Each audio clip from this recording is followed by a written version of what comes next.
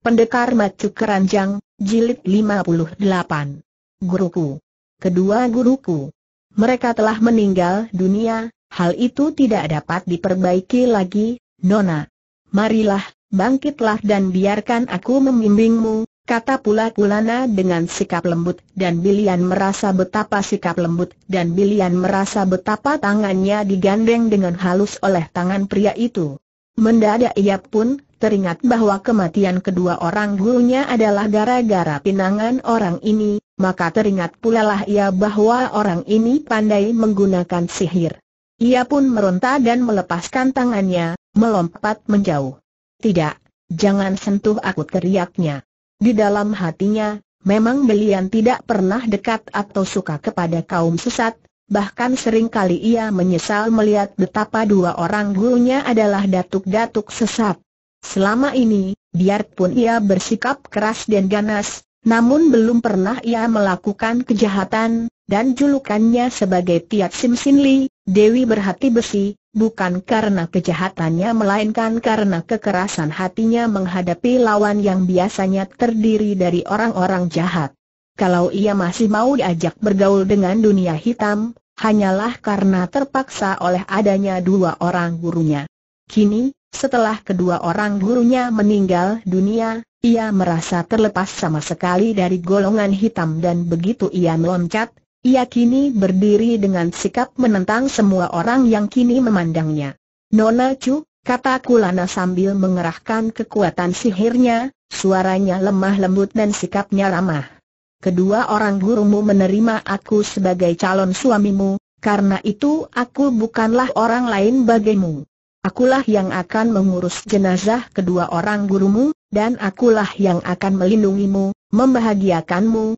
Cukup pilihan membentak sambil mengerahkan kekuatan KHI Kangnya untuk melawan pengaruh suara halus itu. Justru karena ulahmu itu, justru karena pinanganmu, kedua guruku saling serang sampai keduanya tewas. Engkaulah yang telah membunuh mereka. Untuk itu, engkau harus menebusnya dengan nyawamu berkata demikian, Bilian sudah meloncat ke depan dan menyerang Kulana dengan hebatnya. Kedua tangan gadis itu mengeluarkan uap putih dan karena ia mengerahkan tenaga Sin Kang luar biasa, kedua tangan yang amat berbahaya itu menjadi semakin menggiriskan karena dapat mulur panjang. Hampir saja pelipis kiri Kulana terkena cengkeraman jari tangannya kalau saja orang Birma itu sambil berjungkir balik dan pada saat itu Lam Hai Giamlo sudah meloncat ke depan menghadapi Bilian. Wajahnya nampak tidak senang dan alisnya berkerut. Sumoy, sikapmu ini sungguh tidak patut. Saudara Kulana bermaksud baik, kenapa engkau malah menyerangnya? Apakah engkau ingin membuat aku malu? Ingat, setelah kedua orang Susyok meninggal dunia, akulah yang menjadi pengganti mereka sebagai pelindungmu dan aku yang berhak mengurusmu. Hentikan sikapmu itu dan bersikaplah yang baik terhadap saudara Kulana akan tetapi, sepasang mata Bilian mencorong marah karena ia dapat menduga bahwa tentu usul orang inilah yang membuat kedua orang gurunya menerima pinangan Kulana.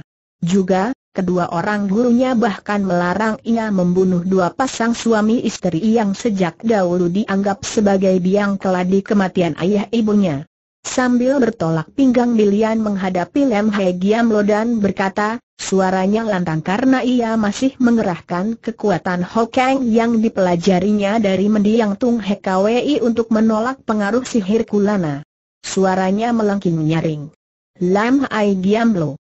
Sejak dahulu, tidak ada hubungan apa pun di antara kita. Kalau aku mau menerimamu sebagai suheng, hal itu adalah karena permintaan kedua orang guruku. Akan tetapi, mereka kini telah tewas di sini, gara-gara ulah orang bernama Kulana ini, jangan engkau mencampuri, karena aku bukanlah bawahanmu, dan engkau pun bukan pemimpinku bocah sombong. Aku adalah Bengcu bentak Lem Hai Gamlo, marah sekali karena merasa dipandang rendah. Sudahlah, Bang Chu, biar aku yang mengurus calon istriku ini kata Kulana dan orang ini pun segera meloncat ke depan untuk menangkap Bilian. Gadis ini mengelak dan membalas dengan tendangan yang dapat pula dilakukan Kulana. Mereka sudah saling serang dengan serunya. Bilian berusaha merobohkan, akan tetapi Kulana berusaha menangkapnya. Melihat betapa lincah dan gesitnya gerakan Bilian, Lam Ai Giam Lo meloncat dan membantu. Akan kubantu engkau menangkap calon mempelaimu, saudara Kulana katanya. Dikeroyok oleh dua orang yang amat lihai itu, Bilian menjadi repot juga. Baru tingkat kepandaian Kulana seorang saja, kiranya tidak mudah baginya untuk mengalahkannya karena orang Birma itu memperkuat ilmu silatnya dengan kekuatan sihir.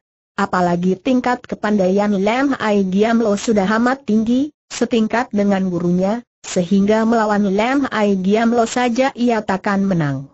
Kini dua orang lihai itu mengeroyoknya, biarpun tidak bermaksud merobohkannya melainkan hanya ingin menangkapnya, tentu saja Bilian menjadi repot dan kewalahan.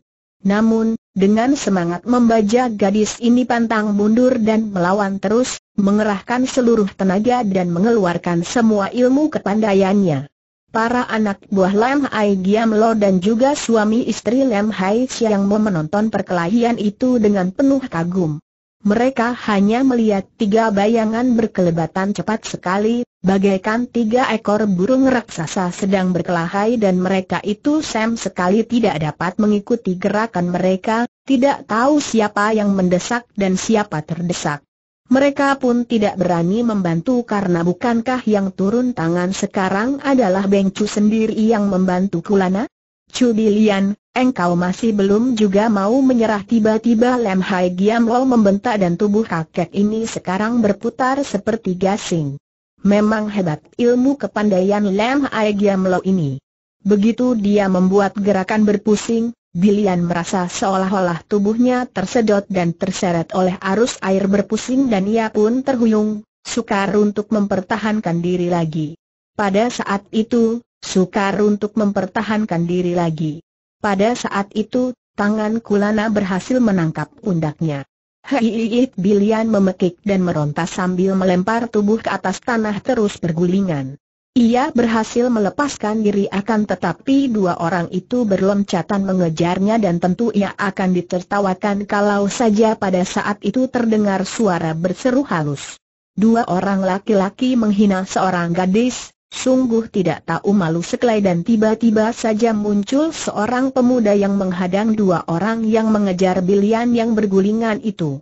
Begitu pemuda itu mengembangkan kedua lengannya dan membuat gerakan seperti mencegah dengan mendorong ke depan, gerakan Lam Ai Giam Lo dan Kulanat terhenti seperti ada tenaga raksasa yang menghadang mereka. Mereka terkejut dan cepat memandang penuh perhatian. Pemuda itu berusia kurang lebih 21 tahun, tubuhnya sedang saja dan pakaiannya amat sederhana, seperti pakaian seorang petani saja. Mukanya berkulit put, agak bulat dengan alis yang hitam lebat, matanya agak sipit dan bersinar lembut, sikapnya tenang sekali dan di bawah jubahnya yang panjang seperti jubah pendeta itu nampak ujung sarung sebatang pedang. Melihat ada seorang pemuda yang asing dan berani membela Bilian menghadapi mereka, tentu saja Lem Hai Giam Lo dan Kulana marah bukan main. Terutama sekali Lem Hai Giam Lo yang merasa betapa kekuasaannya di situ ditentang orang asing, seorang yang masih muda dan tidak terkenal lagi. Keparat, apakah matamu buta maka berani engkau mencampuri urusan kami bentaknya sambil melangkah maju menghampiri pemuda itu. Pemuda itu bersikap tenang, akan tetapi mata yang lembut itu kini mencorong ketika dia berkata, Lam Ai Lo, aku tidak buta dan dapat melihat betapa engkau dan orang ini tanpa malu-malu mengeroyok seorang gadis kulana juga marah sekali karena ada orang yang berani menghalangi niatnya menangkap calon istrinya. Diam-diam dia mengerahkan ilmu silatnya dan sambil memandang wajah pemuda itu, tiba-tiba dia maju dan membentak. Orang muda, aku adalah junjunganmu. Berlututlah engkau seruan ini berwibawa sekali mengandung kekuatan sihir yang amat kuat, bahkan Bilian sendiri merasa betapa kedua kakinya gemetar. Akan tetapi, pemuda ini sama sekali tidak menjatuhkan diri berlutut seperti yang diperintahkan Kulana, sebaliknya dia malah tersenyum dan menghampiri Bilian yang kedua kakinya masih gemetar. Nona, sebaiknya kalau kita pergi saja dari tempat kotor di antara orang-orang busuk ini, suara itu demikian lembut, dan biarpun Bilian belum mengenai siapa adanya pemuda ini, ia telah menyerahkan seluruh kepercayaan hatinya. Ia mengangguk dan menghampiri pemuda ini, ia telah menyerahkan seluruh kepercayaan hatinya. Ia mengangguk dan menghampiri pemuda itu lalu bersama pemuda itu melangkah pergi meninggalkan tempat itu. Untuk beberapa detik lamanya, Kulana, Lam Hai Giamlo, Lam Hai Siang Mo dan belasan orang anak buah itu bengong melihat dua orang muda itu membalikan tubuh dan pergi, seolah-olah tidak percaya. Kemudian Kulana dan Lam Hai Giamlo sadar dan keduanya bergerak hendak mengejar. Jangan pergi Lam Hai Giamlo berteriak. Berhenti Kulana juga membentak. Pemuda itu membalikan tubuhnya, diturut oleh Bilian yang siap menghadapi serangan mereka. Akan tetapi sambil membalik, pemuda itu tiba-tiba menghadapkan kedua tangannya ke arah mereka yang mengejar dan mulutnya mengeluarkan seruan yang menggeledek. Diam kalian luar biasa sekali kekuatan yang terkandung dalam bentakan ini. Dua orang sakti itu seketika terhenti dan diam seperti patung, bahkan terbelalak seperti orang kaget. Juga Lem Hai Siang Mo dan belasan orang anak buah itu pun diam tak bergerak seperti menjadi patung. Bilian sendiri merasa seolah-olah darah yang mengalir di tubuhnya terhenti dan ia pun tidak mampu bergerak akan tetapi pemuda itu memegang tangannya dan menariknya. Nona, mari kita pergi dan ia pun dapat menggerakkan kaki dan mereka lalu melarikan diri dari tempat itu. Baru setelah mereka jauh menuruni lereng, terdengar ribut-ribut di belakang mereka, tanda bahwa semua orang itu telah sadar dan agaknya melakukan pengejaran. Pemuda itu maklum betapa bahayanya kalau sampai mereka dapat dikejar oleh Lem Ai Giamlo dan kawan-kawannya. Dia tahu bahwa tempat itu terdapat banyak sekali orang pandai, maka dia pun lalu mengajak gadis itu melanjutkan pelarian mereka memasuki hutan yang liar dan gelap di atas sebuah bukit. Setelah tidak lagi terdengar suara orang mengejar, barulah mereka berhenti berlari dan mereka berhenti di bawah sebatang pohon besar. Karena tadi mereka terus berlarian, apalagi karena Bilian baru saja berkelahi melawan dua orang lawan tangguh, Gadis itu merasa lelah dan ia pun menjatuhkan diri di atas rumput tebal, lalu duduk bersila mengatur pernapasan dan memulihkan tenaga. Pemuda itu pun tidak mengganggu, melainkan duduk agak jauh, di atas batu dan hanya memandang dengan kagum. Latihan pernapasan gadis itu adalah latihan ilmu yang biasa dilakukan golongan hitam, namun diam-diam dia kagum karena dari cara gadis itu berlatih pernapasan, dia tahu bahwa gadis itu telah memiliki tingkat kepandaian yang tinggi. Akhirnya Bilian membuka matanya dan begitu ia sadar akan keadaan dirinya, pandang matanya mencari-cari dan ia pun melihat pemuda itu duduk agak jauh di atas batu dan memperhatikannya. Ia pun cepat meloncat berdiri dan teringatlah ia betapa pemuda sederhana itu telah menyelamatkannya secara aneh sekali. Ia masih bingung memikirkan bagaimana pemuda itu dapat membawanya lolos dari tangan orang-orang yang demikian lihainya seperti Lam Hai Kulana dan anak buah mereka. Melihat gadis itu menghampirinya, pemuda itu tetap duduk dan tersenyum lembut. Engkau siapakah? Dan bagaimana engkau dapat meloloskan aku dari cengkeraman mereka? Tanya Bilian. Duduklah, Nona dan mari kita bicara, jawab pemuda itu. Bilian lalu duduk di atas batu di dekat pemuda itu. Tempat itu terlindung pohon besar dan sekeliling mereka penuh dengan pohon dan semak belukar. Mereka berada di dalam sebuah hutan yang amat lebat dan liat. Setelah gadis itu duduk, pemuda itu pun berkata dengan halus. Sesungguhnya, hanya kebetulan saja kita bertemu. Aku memang sedang melakukan penyelidikan di tempat tinggal Lam Aigiamlo untuk mencari seseorang. Ketika aku melihat engkau dikeroyok oleh dua orang itu, tentu saja aku merasa penasaran dan menegur mereka. Untunglah bahwa kita masih dapat lolos, karena kalau terlambat, entah apa yang akan terjadi. Mereka adalah orang-orang yang amat sakti. Akan tetapi engkau sendiri, seorang gadis yang memiliki ilmu kepandaian tinggi, bagaimana sampai dapat terperangkap di sana, Nona Bilian mengerutkan alisnya. Menurutkan wataknya yang keras, ia dapat marah mendengar pertanyaan ini. Pemuda ini ia tanya belum menjawab, belum memperkenalkan keadaan dirinya, sudah balas bertanya, seolah-olah tidak percaya kepadanya.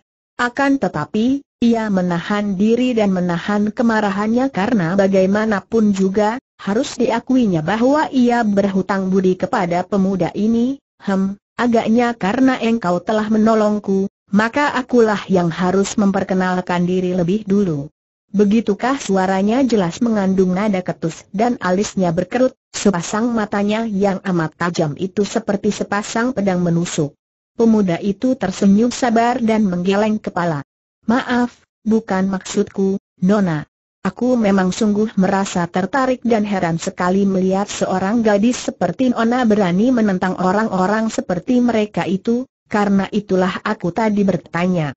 Baiklah kalau Nona ingin mengetahui, namaku adalah Pek Han Siong, Aih Bilian terbelalak. Han Siong tersenyum. Ada apa lagi Nona? Kenapa namaku mengejutkanmu jadi engkau inikah Pek Han Siong, engkau? Sing Tong itu. Kakak kandung Pek Eng kini pemuda itu yang terbelalak dan bahkan meloncat turun dari atas batu yang dudukinya. Engkau tahu semuanya, nona pemuda itu memang Pek Han Siong. Seperti kita ketahui, pemuda ini mencari jejak Pek Eng, adik kandungnya yang melarikan diri, minggat dari rumah keluarga Pek karena tidak suka dijodohkan dengan keluarga Song dari Kang Jioang. Dia menemukan jejak adiknya itu dan mendengar bahwa adiknya ditawan oleh kaki tangan Lem Ai Giam Lo dan dibawa ke selatan, ke pegunungan Yunan. Maka dia pun melakukan perjalanan ke sana dan mencari-cari di pegunungan Yunan sampai akhirnya pada hari itu dia dapat menemukan tempat tinggal Lem Ai Giam Lo dan melihat Bilian dikeroyok dua orang lihai itu. Bilian merasa gembira bukan main mendengar bahwa pemuda ini adalah kakak Pek Eng, gadis yang disukainya, gadis yang menjadi tawanan Lem Ai Giam Lo dan kemudian bahkan diambil menjadi murid dan anak angkat. Kiranya Pek Eng tidak bohong, kakaknya itu hebat. Sungguh kebetulan sekali katanya gembira. Aku mendengar tentang dirimu dari adik Eng yang baru saja ku kenal. Ia juga berada di sana, Kini ia menjadi murid bahkan anak angkat Lam Ai Giang Lo, heh tentu saja Han Xion terkejut dan heran bukan main mendengar keterangan itu. Bagaimana pula ini? Apa saja yang telah terjadi dan engkau, siapakah engkau ini, nona aku Cu Bilian, Bilian berhenti bicara karena ia melihat betapa wajah pemuda itu berubah matanya terbelalak dan muka pemuda itu menjadi agak pucat. Kau, kau kenapakah titik? Cu. Bi. Lian perlahan-lahan Hon Siong mengulang nama ini matanya menatap wajah gadis itu penuh selidik. Benar memangnya kenapa Bilian balas bertanya. Han Siong menelan ludah sebelum menjawab, tidak apa-apa, rasanya aku seperti pernah mengenal nama itu, katanya agak gugup. Tentu saja dia mengenalnya. Chu Bilian, atau Siang Kean Bilian, puteri dari suhu dan subonya. Inilah gadis itu, yang harus dicarinya, bahkan yang oleh suhu dan subonya telah ditunangkan dengan dia, menjadi calon istrinya. Inilah tunangannya. Siapa orangnya tidak menjadi tegang hatinya dihadapkan pada kenyataan yang begini, tiba-tiba dan tidak disangka-sangka. Ah, tidak mungkin. Baru sekarang kita saling bertemu, jawab Bilian. Han Xiong masih memandang bengong. Bertemu dengan gadis itu, berhadapan, sadar sepenuhnya bahwa inilah gadis yang diperuntukkan dirinya, yang oleh ayah ibu kandung gadis ini sendiri ditunangkan kepadanya, membuat jantungnya berdebar. Dia menatap penuh perhatian dan harus diakuinya bahwa Bilian adalah seorang gadis yang amat cantik jelita dan gagah perkasa. Tubuhnya demikian padat dan ramping, penuh daya kekuatan tersembunyi. Rambutnya panjang dan hitam, dikuncir tebal dan digelung di atas kepala. Matanya demikian tajam dan indah, bagaikan sepasang bintang dengan hidung kecil mancung dan mulutnya demikian manis, dengan bibir yang merah basah. Mukanya bulat telur dan tahi lalat di dagu itu. Manis bukan main. Gadis ini putri suhu dan subonya, akan tetapi diserahkan kepada keluarga Chu sehingga gadis itu tidak tahu bahwa ia sebenarnya Su Yang Kuan. Menurut suhu dan subonya gadis ini ketika kecil pernah mendapat latihan ilmu dari suhu dan subonya, kemudian gadis itu lenyap. Bagaimana kini Bilian dapat menjadi seorang yang sedemikian lihainya? Hei, kenapa engkau memandangku seperti itu? Bilian menegur. Ia memang galak dan paling tidak suka kalau melihat pria memandangnya dengan sinar mata yang mengandung kekaguman, karena biasanya hal ini dianggap sebagai kekurangan ajaran. Ah, tidak, aku, aku teringat kepada adikku, adik Eng? Ia masih berada di sama. Tentu ia tidak tahu bahwa kakaknya telah muncul, bahkan menjadi lawan dari gurunya sendiri. Aku sungguh masih merasa bingung mendengar betapa adikku menjadi murid dan bahkan anak angkat orang seperti Lam Ai Giamlo, dan juga heran melihat engkau berada di antara mereka, Nona, menurut cerita adikmu, ia mencarimu akan tetapi bertemu dengan anak buah Lam Ai Giamlo lalu ditawan, akan tetapi ia dapat membujuk Giamlo sehingga ia diterima menjadi murid dan gurunya itu bahkan telah membatalkan ikatan perjodohannya dengan keluarga Kang Jiupang. Mengenai diriku, ah, panjang ceritanya dan baru saja kedua orang guruku tewas di sana karena saling serang sendiri, Gara-gara Kulana dan Lem Ai Giamlo yang berhasil membujuk guruku agar aku mau menjadi calon istri Kulana, Han terkejut. Dua orang guru gadis ini tewas karena saling serang sendiri? Orang-orang macam apakah guru-guru gadis ini? Siapakah guru-gurumu? Nona tanyanya, teringat kepada suhu dan subonya. Guruku adalah Pak Kwei Ong dan Tung Hek Kwei, kembali Han Xiong terkejut setengah mati.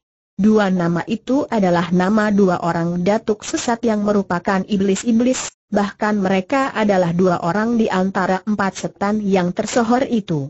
Pantas gadis ini lihai bukan main. Ngeri dia membayangkan bahwa putri suhu dan subonya itu, yang telah dijodohkan dengannya, telah menjadi murid dua orang datuk sesat itu. Melihat sikap Han Sung terkejut, Bilian tersenyum mengejek. Memang aku murid mereka guru adalah dua orang di antara empat setan yang terkenal jahat seperti iblis. Lalu mengapa? Apa kau kira aku juga lalu menjadi jahat ah? Sama sekali tidak, Nona. Akan tetapi, kalau aku tidak salah dengar bukankah ada hubungan antara Lam Hai Giamlo dan kedua orang tua itu benar? Kedua orang guruku masih susuk dari Lam Hai Giamlo, kalau begitu Nona masih sumoi dari Giamlo, begitu maunya, akan tetapi akau tidak merasa menjadi sungguhnya. Apalagi setelah kedua orang guruku tewas. Dia yang menjadi gara-gara, dia dan Kulana, si keparat. Aku harus membalas kematian dua orang guruku kepada mereka berdua tiba-tiba Han memberi isyarat kepada gadis itu yang agaknya juga sudah melihat berkelebatnya bayangan orang di kejauhan. Keduanya sudah menyelinap dan lenyap bersembunyi di balik batang pohon besar sambil mengintai bayangan itu bergerak cepat sekali dan tak lama kemudian mereka berdua melihat seorang laki-laki telah berada di situ. Melihat orang ini, Bilian marah sekali dan ia pun sudah melompat keluar dari balik pohon sambil membentak. Kulana Jahanam, engkau datang mengantar nyawa Bilian meloncat keluar dan langsung menyerang dengan tusukan kedua jari tangan kiri ke arah pelipis lawan, sedangkan tangan kanannya mencengkeram ke arah lambung. Serangan ini cepat dan kuat, dahsyat bukan main karena dilakukan dalam keadaan marah dan penuh dendam. Han Xiong terkejut melihat serangan itu dan hampir saja dia turun tangan mencegah kalau saja dia tidak melihat bahwa orang yang diserangnya itu pun bukan orang sembarangan. Laki-laki itu juga terkejut karena tidak menyangka bahwa di tempat itu dia akan diserang seorang gadis yang demikian lihainya, apalagi serangan itu merupakan serangan maut. Namun, dia bersikap tenang dan sigap sekali. Dengan kecepatan seorang ahli, tubuhnya sudah merendah sehingga tusukan ke arah pelipis itu luput, sedangkan cengkeraman tangan kanan Milian ke arah lambungnya ditangkis dengan gerakan memutar. Duk dua lengan bertemu dan akibatnya, kedua orang itu terdorong mundur dan merasa betapa lengan mereka masing-masing tergetar hebat, Tanda bahwa keduanya memiliki tenaga sinkang yang amat kuat berimbang. Bilian semakin marah, ia memang sudah tahu akan kelihayan Kulana, maka ia pun sudah siap untuk menyerang mati-matian. Akan tetapi pada saat itu terdengar Han Siong berseru kepadanya. Nona, tahan dulu, jangan serang dia Bilian mengerutkan alisnya.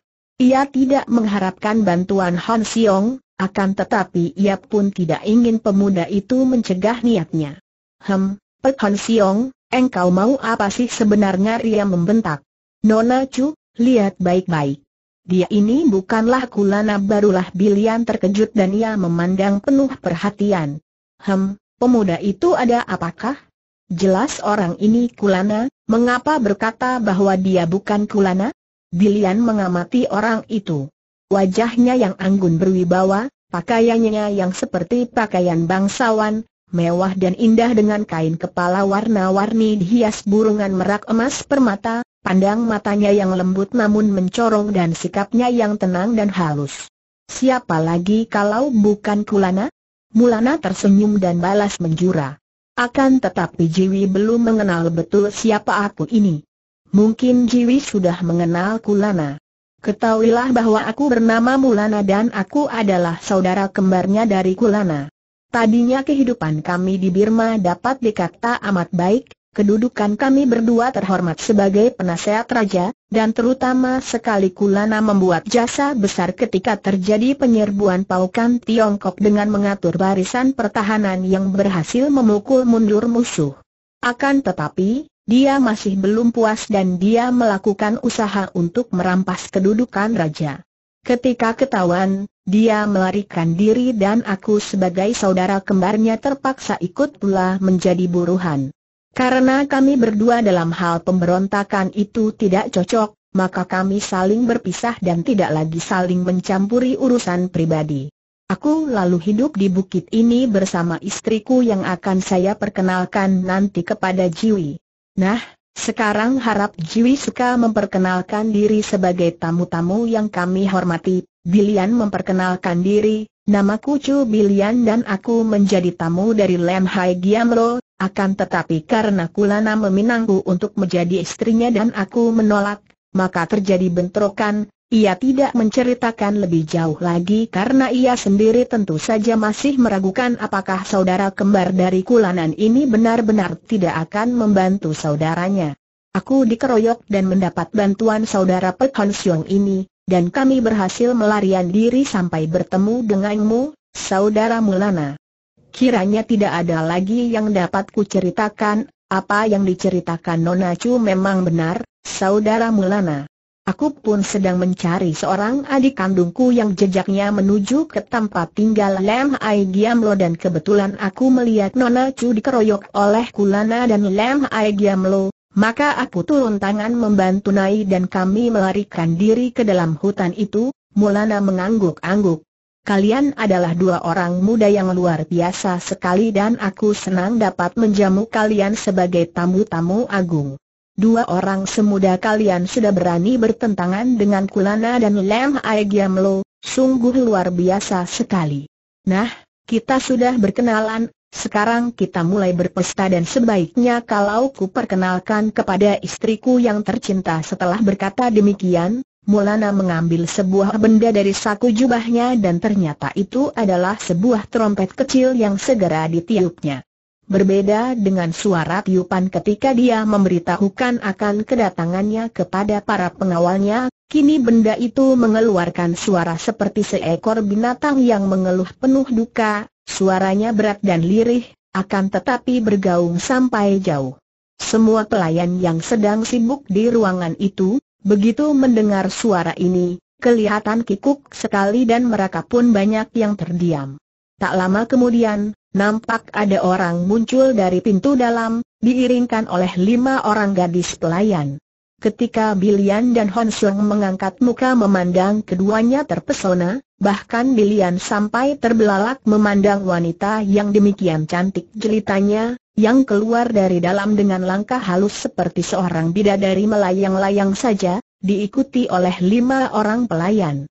Wanita itu berusia kurang lebih 35 tahun, akan tetapi memiliki kecantikan yang amat hebat. Wajahnya demikian halus dengan raut yang demikian sempurna, cantik dan agung walaupun wajah itu terlalu pucat dan coba ditutupi dengan bedak tipis. Wajah itu pantasnya menjadi wajah seorang putri agung di istana kaisar. Pakaiannya, gelung rambutnya, gerak-geriknya, semua menunjukkan dengan jelas bahwa ia bukan seorang wanita biasa, melainkan seorang wanita bangsawan agung yang memiliki gerak-gerik yang serba teratur. Kedua kaki yang tertutup gaun panjang itu tidak nampak melangkah sehingga kelihatannya ia melayang ketika menghampiri meja perjamuan itu dengan sikap agung, tidak menengok ke kanan kiri, dengan dada terangkat dan kepala tegak, menuju ke arah kursi di samping Mulana yang kosong. Diam-diam Han Xiong merasakan sesuatu yang aneh. Wanita itu memang cantik sekali, terlalu cantik di tempat yang seperti itu, akan tetapi ada sesuatu pada pandang matu itu yang tidak wajar, seperti matu seorang yang tidak bersemangat lagi, seperti matu seorang yang berada di bawah pengaruh sihir. Juga dia melihat sinar duka yang teramat mendalam pada pandang matu itu sehingga diam-diam Han Song mencurahkan perhatiannya dan timbul keinginan taunya untuk menyelidiki rahasia aneh apa yang ada pada wanita itu. Sambutan Mulana kepada istrinya itu pun luar biasa. Ketika wanita itu tiba dekat, dia pun bangkit dari tempat duduknya dan dengan senyum lebar dia menyongsong kedatangannya, membungkuk sambil berkata dalam bahasa yang dimengerti oleh dua orang tamunya. Selamat malam, istriku yang cantik jelita. Malam ini engkau semakin cantik saja. Silakan duduk dan mari ku perkenalkan kepada dua orang tamu kita yang terhormat. Sikap Mulana itu seperti dibuat-buat dan Hon Xiong melihat pancaran yang mencorong aneh dan kejam dari pandang matu tuan rumah itu, yang membuatnya heran sekali. Wanita itu pun menekuk sebelah kakinya dengan sikap yang manis dan lembut sekali ketika diperkenalkan kepada Bilian. Kemudian ia mengambil tempat duduk di atas kursi sebelah suaminya dan ketika sinar api lampu dan lilin beraneka warna menimpa mukanya, Diam-diam Bilian menahan napas saking kagumnya. Wanita ini memang hebat, cantik jelita dan pakaiannya, dari setiap untayan rambut hitam yang dilingkar-lingkar sampai kepada hiasan kuku dari emas, setiap lipatan pakaiannya yang indah, semua memperlihatkan keindahan dan keayuan seorang wanita yang lembut. Kini para pelayan sibuk mengeluarkan hidangan. Bagaikan sekelompok kupu-kupu saja, Gadis-gadis pelayan yang manis-manis itu seperti menari-nari, pergi datang membawa baki terisi masakan-masakan yang masih mengepulkan uap dan terciumlah bau yang sedap, yang membuat perut Bilian dan Hon yang memang sudah lapar itu mengeluarkan bunyi. Wajah itu selain cantik juga agung, dengan bentuk wajah yang bulat telur dan kulit mukanya demikian halus dan dia pun nampak pucat, namun kehalusannya sungguh jarang dimiliki wanita lain. Rambutnya hitam dan panjang tebal, digelung dengan model gelung putri bangsawan, mengkilap karena bersih dan diminyaki, dengan anak rambut melingkar-lingkar di sekitar dahi dan pelipis. Alisnya hitam panjang melengkung seperti gambar, melindungi sepasang metu yang bentuknya indah, lebar dan jeli akan tetapi sinarnya redup seperti bulan terhalang awan tipis. Hidungnya mancung dengan cuping yang tipis dan hidup, mulutnya mengandung tantangan berahi yang panas, kedua pipinya kemerahan oleh bedak dan yanci sedangkan kulit lehernya demikian tipis dan halus mulus. Setelah hidangan lengkap dikeluarkan di atas meja, tiba-tiba Mulana bertepuk tangan dan berkata halus kepada seorang pengawal. Ambilkan cawan kehormatan dari Tuan Putri mendengar ucapan ini, sepasang matu itu terbelalak dan belian, juga Han Siong, melihat betapa wanita cantik itu dengan kaget menoleh kepada suaminya, memandang dengan muka pucat dan mata terbelalak, bibir gemetar dan kedua mata itu tiba-tiba menjadi agak basah, lalu terdengar suaranya. Perlukah akan tetapi lalu disambung dengan bisikan-bisikan dalam bahasa Birma yang tidak dimengerti oleh dua orang tamu itu. Akan tetapi, dari sikap dan nada suaranya, Han Xiong dapat menduga bahwa Seng Putri itu mengajukan protes. Namun anehnya, Mulana sama sekali tidak menghiraukannya, bahkan memperkuat perintahnya dengan gerakan tangan sehingga kepala pengawal yang tadinya nampak ragu-ragu itu lalu melangkah cepat memasuki ruangan lain yang bersambung dengan ruangan itu. Bilian dan Hon Siong saling pandang dan mereka merasa betapa jantung mereka berdebar tegang. Keluarga tuan rumah ini memang aneh dan penuh rahasia yang menegangkan. Ketika kepala pengawal itu muncul kembali, mereka memandang dan keduanya harus mengerahkan sinkang untuk menekan perasaan mereka ketika kepala pengawal itu membawa sebuah benda yang membuat mereka terbelalak. Kepala pengawal itu meletakkan benda itu di atas meja, di sebelah kiri Seng Puteri yang memandang benda itu dengan mata sayu dan basah. Benda itu adalah sebuah tengkorak. Kepala manusia yang tinggal tulangnya saja, akan tetapi terawat baik, bahkan lubang kedua mata dan hidung ditutup dengan emas, dan hanya tinggal rongga mulut saja yang terbuka ternganga dan agaknya tengkorak itu kini dipergunakan sebagai sebuah cawan. Cawan yang mengerikan sekali. Isi cawan dengan anggur harum untuk menghormati tamu tiba-tiba Mulana berkata dan suaranya terkandung nada gembira sekali seolah-olah dia menikmati perintahnya itu.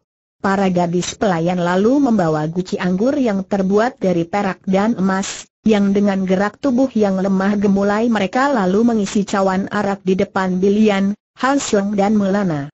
Mulana sendiri mengambil guci arak dari tangan pelayannya dan menuangkan anggur ke dalam.